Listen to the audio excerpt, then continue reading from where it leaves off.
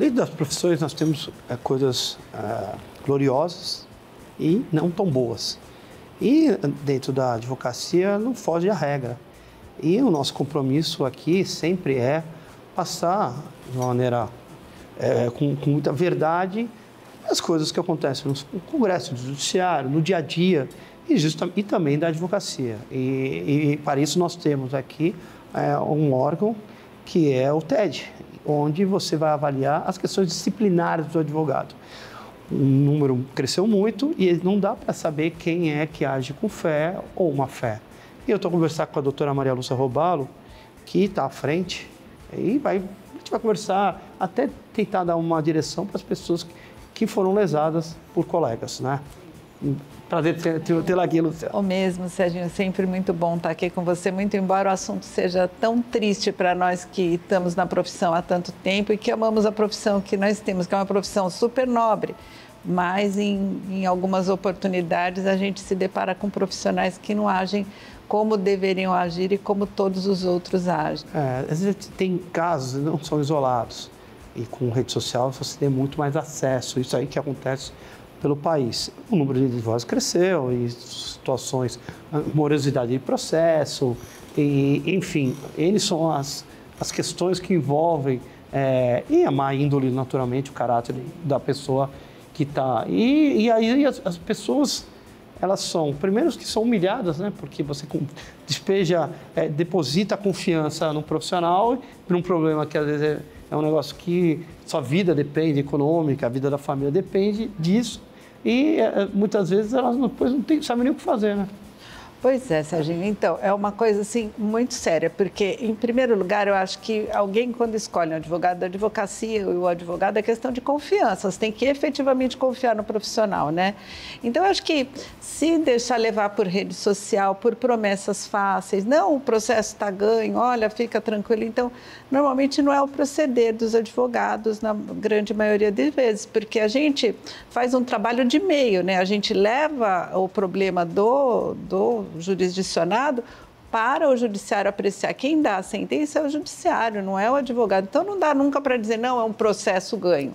Então eu acho que a pessoa tem que tomar muito cuidado na escolha, tem que procurar saber quem é o profissional, não se deixar envolver pelas redes sociais, porque agora todo mundo resolve tudo pela rede social. Então eu acho que é muito importante ter esses cuidados, né, na hora de contratar um profissional, porque infelizmente lá no Tribunal de Ética o número de reclamações também tem, tem crescido muito e eu estou na vice-presidência a gente acaba acompanhando muitos casos assim que a gente fica muitas vezes super sensibilizados com, é. com o procedimento. Não, e não adianta a gente tampar o sal com a peneira, é, realmente acontece, é, a, a, a OAB serve justamente para auxiliar o advogado ou para puni-lo quando assim necessário. Ali é um, é um órgão de classe que está para disciplinar as relações dos advogados, principalmente com os clientes. Então, a gente, é, nós, é, aqui como classe, quando o advogado é afrontado, nós vamos lutar pelos direitos dele. Mas quando há, ao contrário, que ele está ferindo o direito do, de outro e do seu cliente principalmente, é, a gente aqui tem essa esse caráter disciplinar punitivo mas não devolutivo. Sim. O que acontece é o seguinte, quando um profissional assim se porta mal, acaba atingindo a classe inteira. Então, na verdade, o papel do Tribunal de Ética não é a caça às bruxas, não. É deixar que maus profissionais não acabem com a nossa profissão, porque a nossa profissão é tão importante, às vezes a vida da pessoa está na nossa mão, ou financeira, ou saúde, porque é, nós temos é, a obrigação de agirmos bem. E quando acontece alguma coisa que a ordem, que o Tribunal de Ética tem conhecimento, ainda assim por vias, por, é, pela, pela mídia ou qualquer coisa, o próprio Tribunal de Ética tem o poder de, de ofício, já provocar um processo administrativo contra o profissional. E muitas vezes isso acontece, porque é, algumas vezes as pessoas prejudicadas não sabem o que fazer. Então é importante a gente dizer que elas têm que ir no Tribunal de Ética é, reclamar, mas nós só podemos agir na medida é, administrativa. A punição é, de suspensão ou de expulsão ou de punição temporária ou coisa que o valha, ela é administrativa. Então, por exemplo, o profissional vai ficar impedido de advogar por um tempo, a depender da gravidade, ou até expulso dos quadros da ordem por não ser merecedor da profissão nobre que ele é, tem. Então, é, agora a pessoa tem que ir na delegacia fazer um boletim de ocorrência de apropriação indébita, ela tem que procurar a justiça para ver o dinheiro dela de volta, porque na ordem a gente consegue até deixar a punição é, vinculada à prestação de contas, mas nós não temos o poder de, de compelir o profissional a, a, a, fazer o pagamento. Isso quem pode fazer é a justiça. Então é muito importante que as coisas corram em paralelo. Sim, perfeito. É, essa é a, ideia a se formar. Isso, é, antigamente se não se tinha tanto conhecimento, porque também não tinha tantos profissionais. E, quer dizer, houve uma alteração muito rápida, né? Eu, é, eu tenho feito algumas entrevistas e demonstra a necessidade de alteração é, no Código Civil. É, hoje a ata notarial faz parte, é parte integrante da Justiça. Quer dizer, enfim, nós temos aí mudanças comportamentais na sociedade que sejaram mudanças de lei. Sim. E isso aqui também acaba sendo um. Eu até acho que o Conselho Federal devia reformular totalmente seu, seu código de ética. Chegou no momento, chegou no momento adequado à internet, adequado ao digital, o Código Civil está ser feito. Acho que o Conselho Federal tinha que fazer isso aqui, porque você tem uma, uma conduta, inclusive, do advogado perante a rede social que às vezes e o resultado não sai igual e aí a pessoa é como se estivesse comprando é. gato por lebre. O cara é, é, é a potencialização da, da, da, mídia não às vezes condiz com o resultado. E, e, a conduta também, a gente tem que a gente não tem que falar o que é verdade. É, os, os, as faculdades digitais e todo mundo. Tá certo que tem o exame da ordem, para ah, mas nem sempre o exame da ordem é, é, vai apurar se a pessoa vai ser boa ou não. É. Então... A gente, quando. Eu, por exemplo, quando fiz exame, não sei, acho que no seu tempo também, a gente tinha o exame oral. E no exame oral a gente tinha muita condição de avaliar é, a forma que a pessoa se portava, se ela tinha o conhecimento básico, porque a gente não fazia pergunta de pegadinha, não. A gente fazia o básico essencial para o cara iniciar, porque a lei tem no, no, livro, é só procurar, mas a gente tinha essa, essa noção assim da, da postura da pessoa. E eu acho que isso era muito importante até para ainda mais agora que a gente tem um número muito grande de, de formandos, né? Porque é uma faculdade que, afinal das contas, para as universidades não é difícil, porque não precisa de um laboratório, né? Precisa de um professor, aluno e livro. Sim. Então, nem livro mais.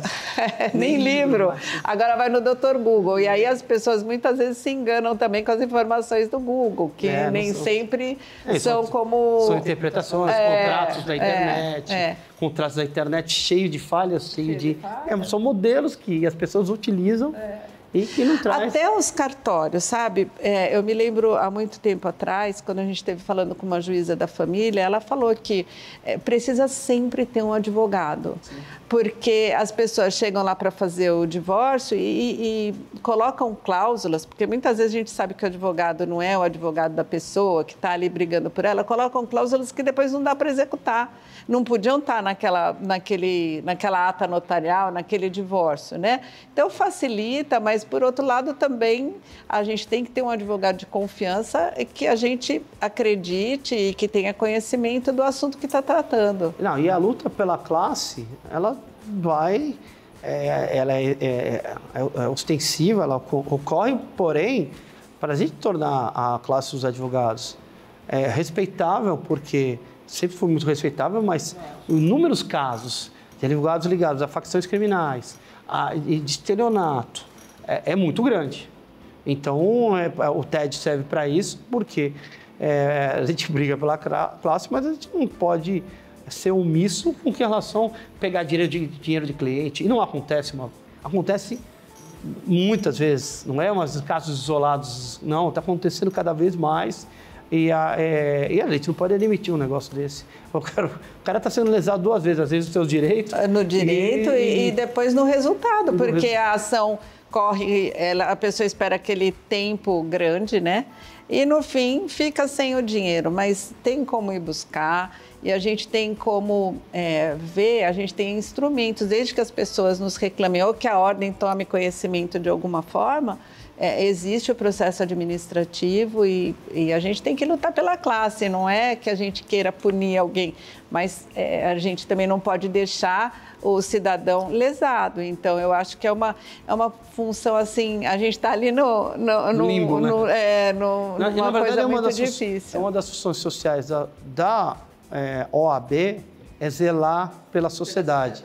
E, então, se você está zelando pela sociedade, você não pode ficar omisso porque um dos seus está sendo tá lesando alguém. E, e o telespectador que não é que não é advogado, que já passou por uma situação dessa ou está passando uma situação dessa, ou conhece alguém, é, é, faça, venha procurar a OAB. Esse é o primeiro caminho. A OAB, a polícia e depois você vai ao judiciário requerer a sua indenização. Mas na OAB você torna aquele o advogado é, apto a sanções, ou seja, perda do registro, é, suspensão do direito de advogar, qualquer que seja a conduta disciplinar, é, só vai acontecer se você for reclamar o seu direito.